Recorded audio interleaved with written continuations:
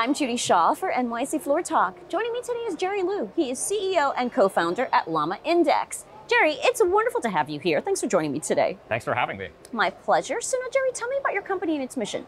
Of course. So, Llama Index is a data framework for building uh, large language model applications. Uh, and so, just to give a little bit of background, large language models like you know GPT-3, Anthropic Claude, GPT-4 by OpenAI have demonstrated a tremendous amount of value in not just being able to generate knowledge, but actually being able to reason over things in kind of a magic manner. If you've ever used like ChatGPT, uh, you know that it basically can just know the answers to things once you tell once you ask it to do something. Mm-hmm. And so one of the key challenges that we thought was this is an amazing interface that could really automate knowledge workflows. But how do you actually combine the power of LLMs with your own private data? Let's say private to an enterprise or an individual. If you have your own data bank of notes uh, or documents or PowerPoints or spreadsheets, or even like conversations or APIs that you have in a workplace setting, how do you feed all this information into a large language model so that can not only just reason over what it already knows, but what it doesn't know and stuff that's private to you?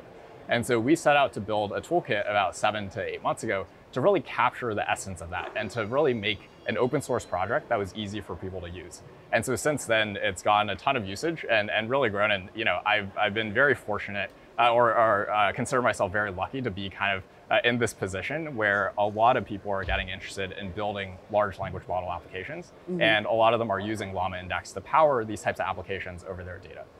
All right, so Jerry, you're co-founder of the company. What was the spark? What inspired you to start this company? That's a great question. So um, back in October or November, um, I was playing around with GPT-3. I think a lot of people were playing around with OpenAI models, and ChatGPT actually hadn't come out yet, but I was playing around with the API.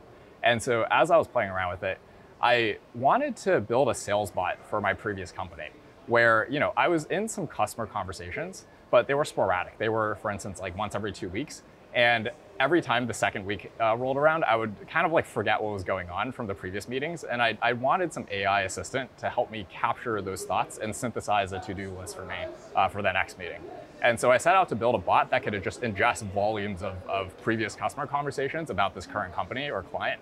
And I wanted it to be able to uh, memorize that information and, and generate a to-do list for me. And so actually by building that, right, and if you think about the concepts, it's basically large language models over some data that was private to the company, which is customer conversations. I quickly ran into some engineering challenges of how do you actually do that efficiently. Uh, for instance, like large language models have an input limitation, like ChatGPT, of how much data you can feed it at one time. And so what I wanted to do was build some initial toolkit that can abstract away some of that complexity. And so that quickly caught on within the developer community. And, and you know, I was doing it just for fun initially. Uh, and then I, I, think about a month in, I saw there was a real opportunity here uh, to build like a transformational business because uh, like LLM is kind of like, LLMs are eating software right now. And, and they're going to be a critical part of software development in the future. All right, so now tell me, how are you different from others that are in this space? Yeah, so just to give you a sense of like the landscape, um, there's other orchestration tools. Um, and so some of you might have heard of like LangChain. There's also some other tools in this space. Um, I would say ever since the beginning, we've been very, very focused about the connection with your data. And we've been trying to build a very quality toolkit to really solve the problems of both data management and ingestion as well as being able to combine data with your LLMs uh, when you actually ask a question over it or give it an input, task. And so we've really curated this uh, really great set of tools that anybody can use, and we've been very focused about that. Um, and so I would say, you know, compared to orchestration tools, we're a lot more focused about the data.